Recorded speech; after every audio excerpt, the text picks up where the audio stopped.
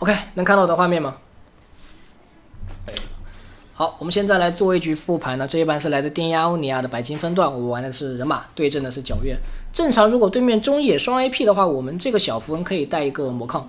但是你带生命值、带护甲、带魔抗，其实没有那么的重要，因为决定游戏的胜负一般不是这个啊，一般是我们打野的一个思路啊。符文天赋的话，我们前面有强调了，如果对面很灵活、比较脆的话，相位猛冲；如果对面比较肉、比较笨的话呢，征服者啊，看局势决定。副系就无脑出这个就可以了。这把我们是选择一个常规的双人路开，蓝开。速四的基本功我就不讲了，没有什么好说的细节，正常快进跳过了哈。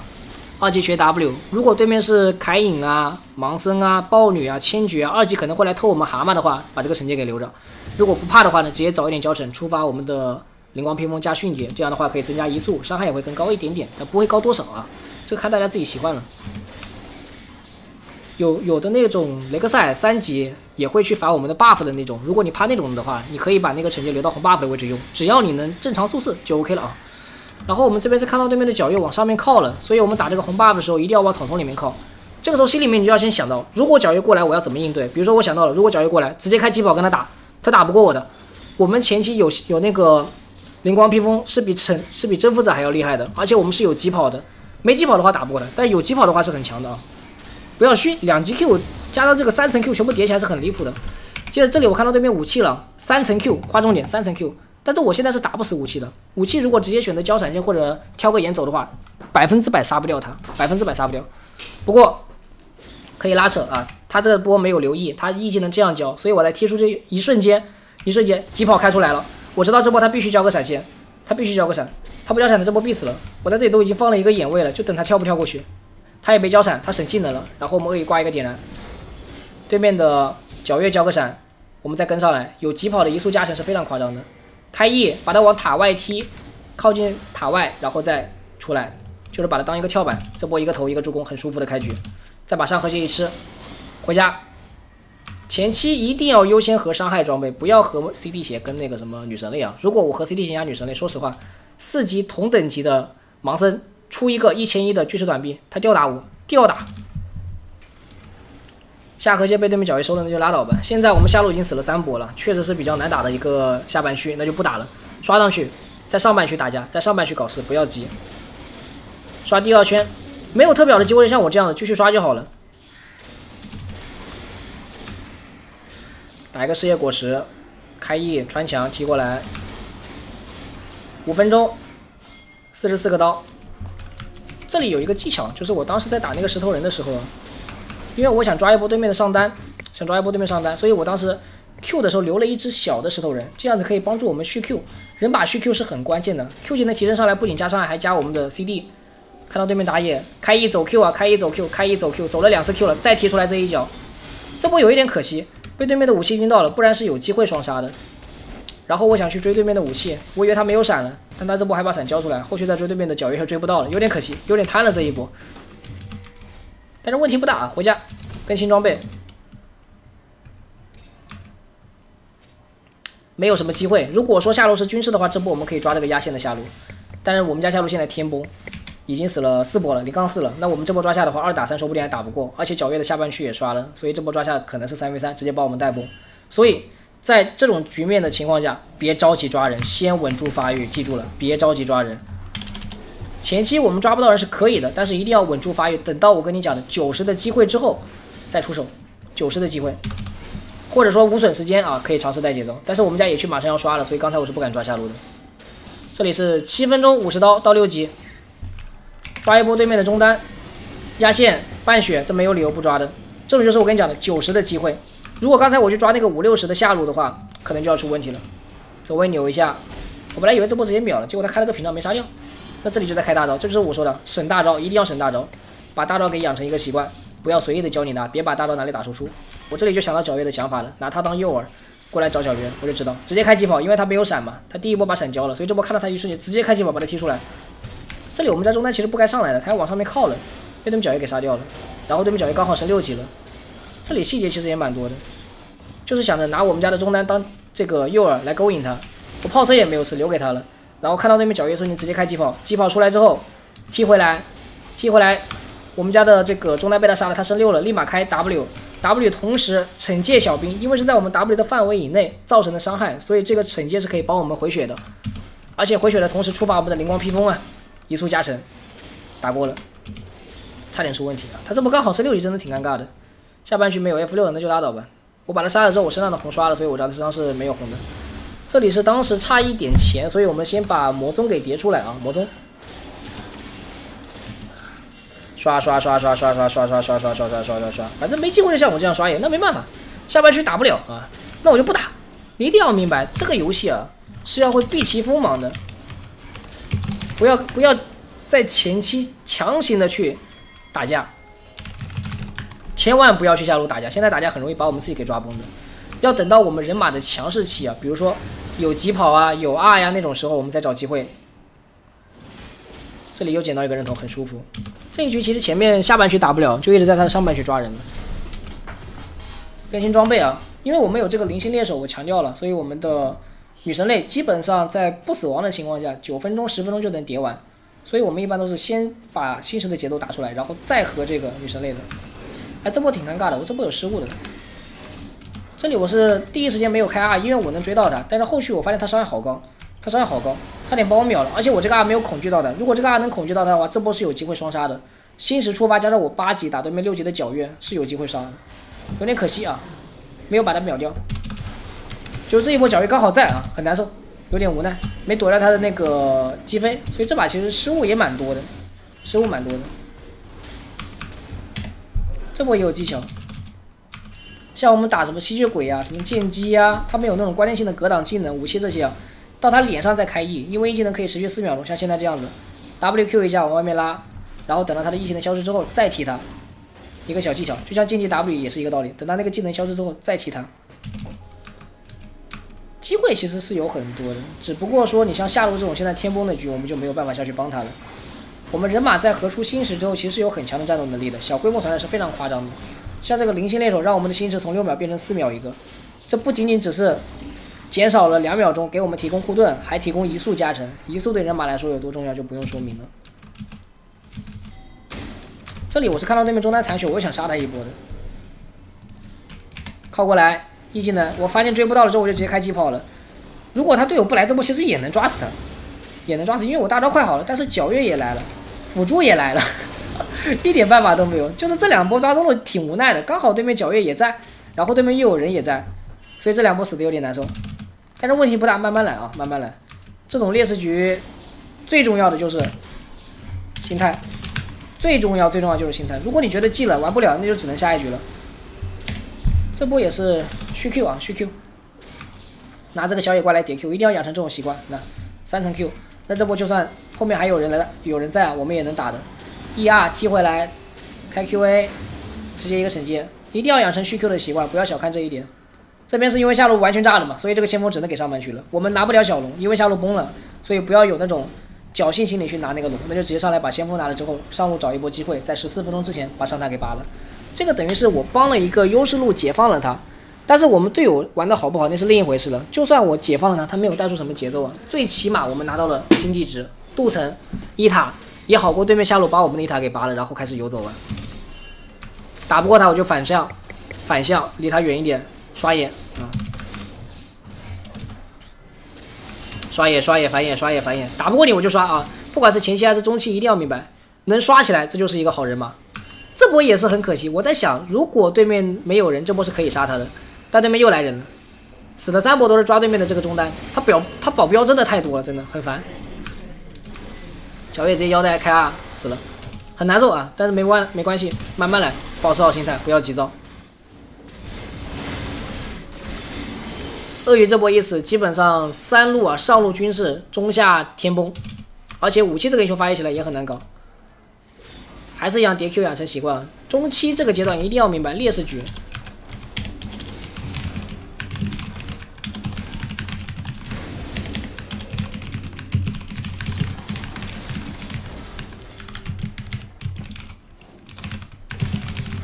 做什么都可以，除了打团以外，做什么都可以。劣势局千万别跟着队友抱团，抱团就直接记了。我们现在是我一 v 一大于任何人，但是如果是五 v 五的话，我们是绝对雪崩，绝对雪崩，玩不了的。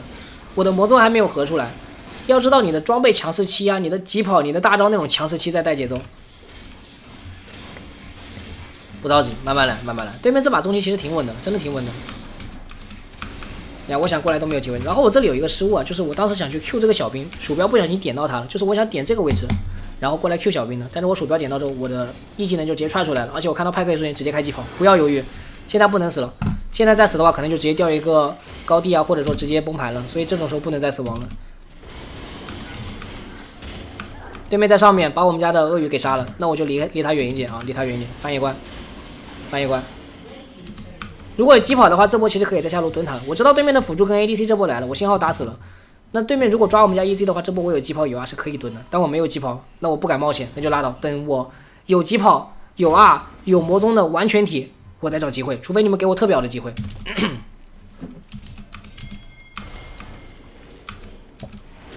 没机会拉倒。你看这些资源呢，这是第二条龙了，让，没有理由的直接让，没办法，只能让。啊，这一波也很难受，打不过武器了，现在已经打不过武器了。武器这个英雄发育起来之后是这样子的，哪怕我是两件套，他只有一件也打不过，已经在尽可能的拉扯了。这里被小石头卡了一下位，然后开大刀立马拉开，但是对面的辅助穿墙过来把我给秒了，很无奈啊，很无奈。就是每一波对面都是有人的，所以我们在前中期发育的很好，但是经济值装备也只是一个军事左右的状态。这一波是一个有机炮有 R 的一个强势期的一个点，所以要抓机会了，一定要明白人马的强势期，疾跑加 R，这个就是强势期。没有这两个技能的时候啊，一定不要抱团，很容易害死自己的。直接开疾跑，E W Q，惩戒 A。我本来以为这里应该能差不多把他秒了，结果圣衣丝血让他跑了。如果这一波把他秒了的话，我的疾跑会加时间的，那这波是有机会全杀的，有机会把这个跟辅助全部都杀了的。后续这里也很难受，想再打的，因为我杀了一个辅助，但是对面的皎月武器全都来了。对面这把人真的来的很快，你看来的真的很快，每一波我打起来就是一百个人的那种，很离谱。然后我们的中单跟我们的下路是属于那种劣势局，完全没有任何作用的那种。但是没关系，记住了，先保持好心态啊！我一直都明白，等我的魔宗，等我的魔宗，这一段时间就是疯狂的刷钱，凑魔宗钱。辅助死了，没办法，管不了他。刷刷刷，哪里有钱去哪里，哪里有钱去哪里。先把魔宗叠出来，魔宗叠出来就有机会。如果这个版本人马不合魔宗，而是在第三件和那些什么死亡之舞或者青龙刀的话，买不起的，真的买不起那些装备，太贵了，太贵了。魔宗是我们在后期可以打动 C 位的一个很便宜的一个装备了，很便宜了，真的这个装备。哎，队友被杀一点办法没有，真的一点办法没有。这里对面的辅助浪了，被我们抓到一波机会，所以我的钱够了，直接回家和魔宗。而且这一波是疾跑，还有三十秒 CD，然后这波团战很关键的，打了一个多打少，这也去徘徊。你记住我的切入位置啊，都是尽可能去找那种侧面或者后方，不要站在正前方，这样是你的 E 是能踢到人的。侧面、后方最好是绕后，然后是。侧面实在不行再走正前方，但是如果我只能从正前方进去，我一般都不会进了，因为我正前方我的 E 是踢不到人的，踢不到人的。团战的切入位置，然后我们的一个进场时机来说，最好就是第二波团，第二波团开起来后，这样是最舒服的。但是这把除了我能开，没有人能开了，其他人都进不去，所以我只能自己开了。看我的切入位置啊，侧面或者后方，侧面或者后方，像这个位置，这波一定要打一波了，再不打的话，武器把下路带过来，然后对面 ADC 到中路的话，就形成一个分带了，那我们就没法玩了。所以这波是一定要拼的了。穿墙 EWQ 有了魔动之后伤害是非常高的，直接 R 起手控住他们家的大嘴啊大眼，然后把大眼给秒了，接着疾跑加移速。他们 ADC 这波不在，所以这波可以直接开了。如果 ADC 在的话，这波可能会稍微难打一点，但是我觉得鳄鱼在应该也能打的。接着直接开始抓大龙，他们这个就是有问题了，武器下路线还没带过去，ADC 也还没到齐，然后他们在人没到齐的情况下没有去提防我的位置，觉得我的装备一般般，觉得这把随便赢了，然后就在中路那个位置被我给开到了，一旦开到，那肯定就随便杀了。大龙拿下来之后啊，如果说是军事变成优势的话，这个大龙拿下来就要开始打五五了。但是现在我们不是优势，我们还是劣势。你看经济值其实就能看得出来，经济值全部在我身上，队友是没有什么经济值的，装备等级都是弱，都是被碾压的。所以我们在这个阶段呢，还是别着急抱团，还是别着急抱团，还是要找机会以抓单为主。比如说这一波，你看队友跟他们打起来了，然后我再过来从后面绕过来打一波，呃，一波拉扯挺漂亮的。这里给你看一下，一个人马熟练度的一个体现呢。这波拉扯挺漂亮的，但是很可惜没杀掉。WQA 触发相位往后面拉。他插一个眼勾引一下他，然后再往后面拉，他晕不到我，晕不到我之后，EQ，A，触发星石往后面拉，这里我躲不掉了，所以他开大的时候，我们也立马开大招规避他的眩晕，把他给拉扯开。如果对面的大眼不在的话，后续这波 EQ 过去就把他杀了，但他有闪现，所以没杀掉。如果大眼不在的话，这波是可以硬追的，但是大眼在我这波不敢硬追了，包括后面对面有没有人我都不敢确定，所以这种情况下别浪啊，别急。我在没有疾跑的时候打团不是完全挺，一定要明白这个道理。更新装备啊，其实如果军事或者小优或者小烈的话，一般一二三后面就直接合肉了。什么王者的板甲、自然之力啊、蓝盾啊、冰心啊、复活甲，乱七八糟的都可以。死亡正午跟青龙刀这两个装备，它并不是一个值这个价格的装备。但是我这把钱很多，而且我得靠自己 C，所以我就必须得合那样的装备了。没办法，没办法，他有他把闪交了，那这波就算了，等下一波机会。不过。他在装备，他看不起我在装备啊！他不知道我的伤害。开 E，走位，靠过来，啊，后面好多人拉倒，等下一波。只要感觉机会不好就不要着急。但是这一波三个人凑到一起了，直接一个大招过来，晕到三个人先秒一个。而且对面这波你你会发现一个重点了，这几波打团对面武器都不在，而且对面 ADC 也不在，就是他们都会少人，但对面非要上来跟我打，他非要上来装备，非要上来浪，所以导致他们会出现这种被我们给翻了的情况。一定要明白劣势局的时候啊。打少人团，不要在对面五五的时候跟他凑上去跟他打，那就是在作死啊！把线推过去，直接踹他，直接踹他，不讲理了。现在伤害已经很夸张了，不跟你讲道理了。你你没有闪现，你有大招有治疗都没有用的，直接秒的。只要你没闪就直接秒的。先往外面拉，让队友扛。星石，这个一级的 CD 真的很快，但是问题不大，我们等级上来了。等级就是最好的装备，一旦有了等级，我们就很好杀人了。这局下位猛冲，哎，这里很尴尬，我想去收那个兵。很很很无奈这一波，这一波是这个小兵啊，我想过去 Q 那个小兵，然后最后一发 Q 没 Q 到，这里没 Q 到失误了，接着我就回去了，回去 Q 的瞬间对面辅助来了，给我秒掉了。但是这个无伤大雅，也算是运气好。如果说小龙现在还有二十秒刷新了，那这波龙魂就给对面了，那难度就会增加很多了。也算是我这一波，这波是我这一整局最浪的一波了，最浪的一波。如果说这个小龙给了他们龙魂，后面很难打，但是好在我复活之后龙魂是来得及的。接着看一下我人马，而且这一波我们是买药了，嗑药了。你如果不嗑药的话，这波输的就记了。龙魂给的基本上就记了的。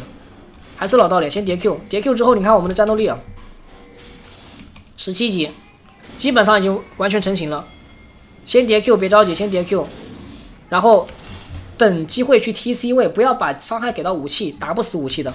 他这里漏了一个人，直接把他秒了。你敢漏我就敢直接秒，跑不掉的。接着。ADC 在这里，他们战场分割了，他们家的队友在这里，ADC 在这里，那这波就很好打了。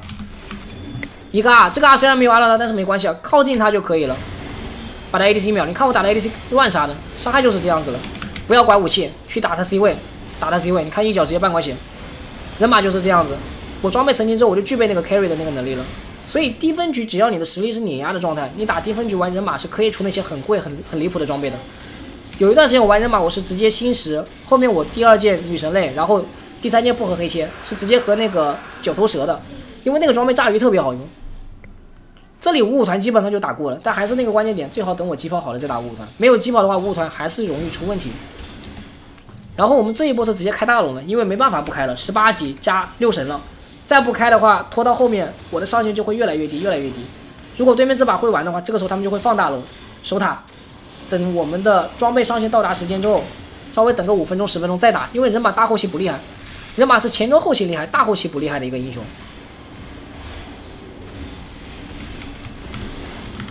这波队友也立功了，有作用了，真的拖到了这个阶段，我们家队友终于有作用了，拖住了对面的双 C，然后我们这边把武器给秒了，把武器给秒了之后，后续追击就好打了呀。盯着他 C 位，盯着他 C 位，他们 ADC 这波都不敢上来，我这里一直在留啊找对面的 ADC。这里千万不要开下去救我们的队友啊！如果把他救到了，但是对面 ADC 过来了，可能会导致我们杀不掉，所以一定要留技能去杀对面的 C 位。这就是为什么我强调了玩人马你要省啊，别把人马大家当做一个打伤害的技能。因为我装备很好，所以直接把大龙抓下来了。到了后面有疾跑，完全体了，这就是完全体了。你看我装备其实这两件真的很贵了，但是没关系，只要有一波机会，比如说现在这种漏了，直接死了，疾跑直接开起来，一脚踢死。踢死之后找人，看小地图哪里有人就去哪里，只要我看到哪里有人，我就我就直接去哪里。惩戒减速 A，大招过来把对面的 C 位给秒了，别打肉啊，一定要把输出给对面的 C 位，直接秒了。这伤害是非常夸张的，Q 技能 CD 快的离谱，后续就剩一个武器也能把他秒了。劣势局不是打不了，最关键的是心态，憋到我们的强势期，比如说那个魔宗叠出来了，或者说在中期的时候我强调的避开团战，还有团战的一个进场时机。多打少，而不是跟对面打五五。如果对面真的五五全部推我们中路一点机会不给的话，那说实话只能下一局。但是基本来说，大师局以下都会给机会的，比赛都会给机会，更不用说普通的路人局了，是吧？最重要的还是那个道理吧，保持好心态。如果你心态崩了，其实你是很烦躁的，你是没有那种耐心去做那种稳定、稳住发育、慢慢打架的那种没有的。而且这种局如果输了的话也很伤心态。所以如果你们感觉这种局真的赢不了的话，说句实话，早一点下一局不是坏事。真的不是坏事，但是如果你这一局打了一个小时，打了四十分钟，然后你被翻盘，你本来差点被翻了，你队友挂机了，然后输掉了，很影响你下一局，很影响你后面上分那个心态的，明白我意思吗？